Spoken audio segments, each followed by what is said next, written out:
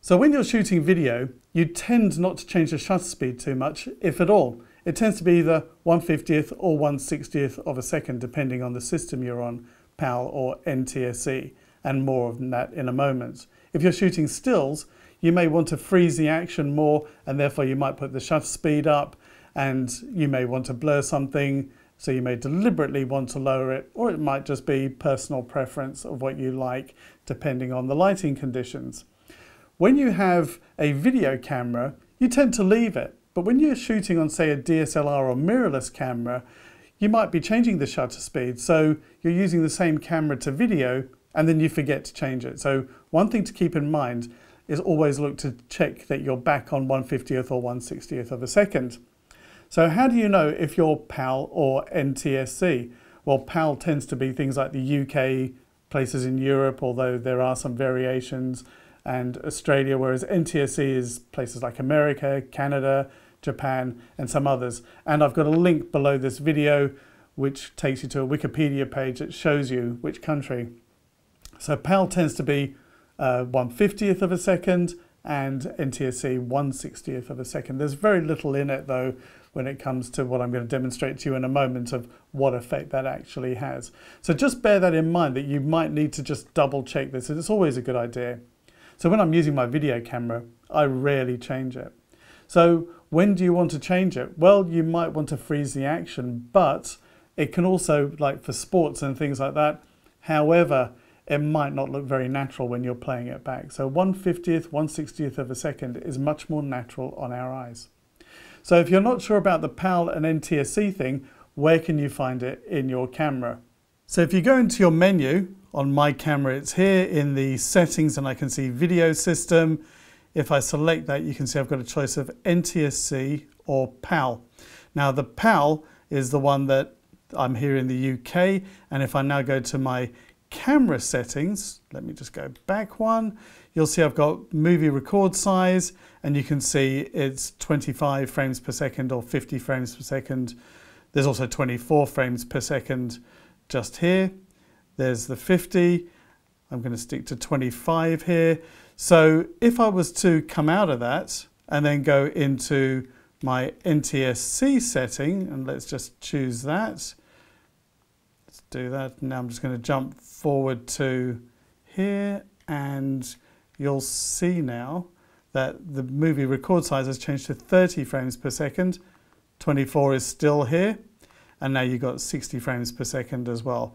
So that tells you what frame rate you've got in your camera. I'm just going to go back now to put mine back to PAL because that's what I want and I don't want to suddenly start shooting and then be in the wrong system.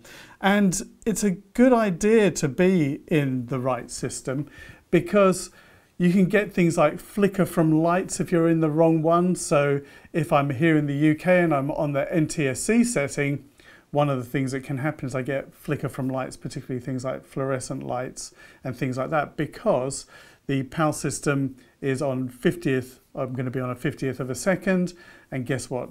Fluorescent lights flicker at 50th of a second here, and basically 60th of a second in countries normally where there's NTSC, and that's due to our power supply of 50 hertz and 60 hertz. Is it a coincidence? I'm not sure. Anyway, let's take a look now at what else the shutter speed can do. So it can actually freeze motion as well. Now you're normally on 50th or a 60th of a second. And what I want to do is just take a look here. I've got some coffee beans that I was pouring into a bowl and I thought this was a good demonstration so you could see what happens. So here I'm on a 50th of a second and if you're using NTSC you can just simply equate that to a 60th of a second. So here we are, if I play that you can see if I freeze frame that the beans are blurred and when you're watching it it looks blurred there so I'm going to just pause it again. So what happens when I go to a hundredth of a second? Well, they're less blurred. Can you see that? I've done a freeze frame on it. Let's just go back and that's 50th and you can see it looks a bit blurry and that's 100th. You can see it looks a little bit sharper there.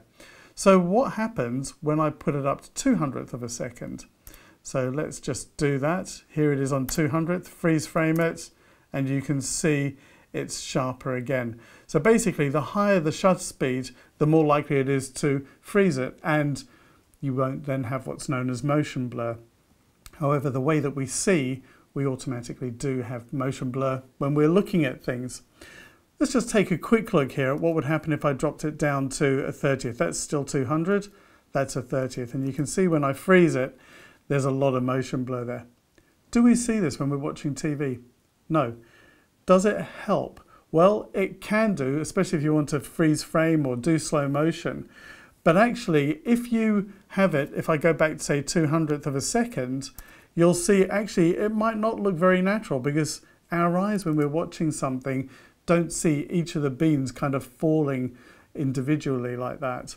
So 50th or 60th of a second is a good place to be. So you can now see what the shutter speed actually does. It's good to be on a 50th or a 60th of a second depending on what system you're on. And don't forget that changing the shutter speed actually also changes your exposure as well. So you need to adjust that. You may have seen when I was doing the different shutter speeds that the exposure did change a bit, although I did compensate a little bit for it. So the one key thing to remember as well is if you're using a DSLR or mirrorless camera, it's easy if you're taking photographs where you're probably using a different shutter speed to change it. And then when you go to video, you haven't changed it back. So whenever you switch to video, first thing to check is that shutter speed and you should be okay.